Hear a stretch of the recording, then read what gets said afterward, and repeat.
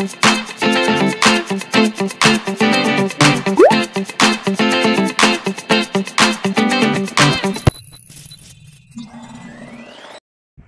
good morning! Welcome sa aking vlog. To this vlog ay maglalagay ako ng varnish sa aming sala set at saka dining table. Ako na lang po ang naglagay ng varnish para makatipid po ako sa labor.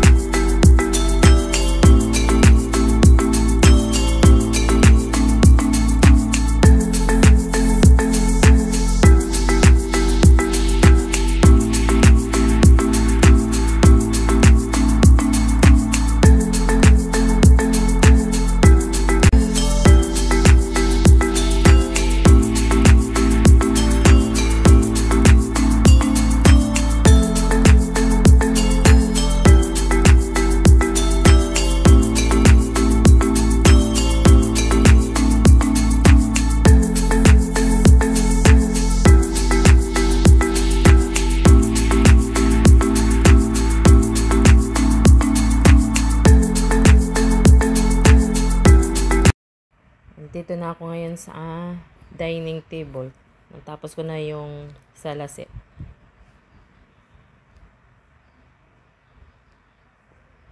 Nakakapagod pero sulit naman kasi nakatipid ako sa ano sa labor.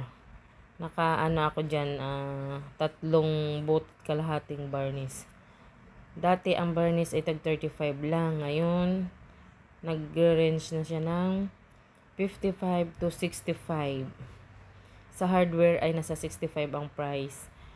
Yan sa akin ay nabili ko sa iMart. Kaya 55 lang po ang nabili ko. Ang kulay niya ay maple.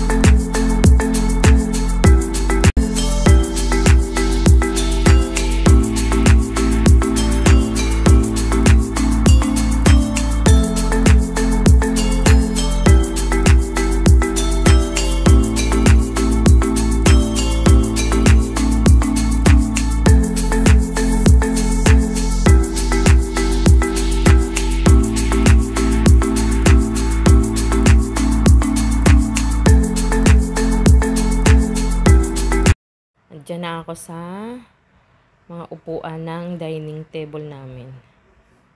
Sa labas ako nagpin ano nag an, naglagay ng varnish para hindi na po dubli-dubli ang linis ko. Ang daming talsik kasi ayan, daming tapon. Pag nasa loob ako ng bahay, maglilinis pa ako ng tiles kapag natalsika ng varnish. Sobrang init din sa labas. Kailangan lang barnisan para pag lumipat na dun sa kabilang bahay, wala nang gaanong trabaho. Lipat gamit na lang talaga.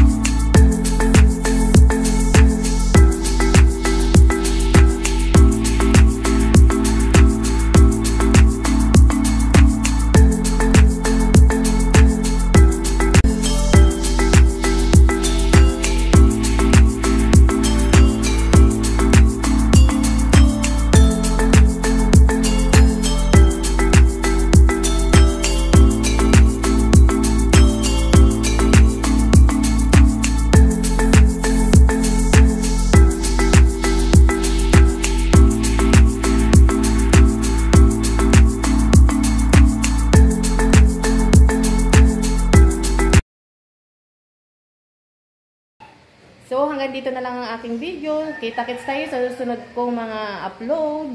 Bye-bye. I love you all!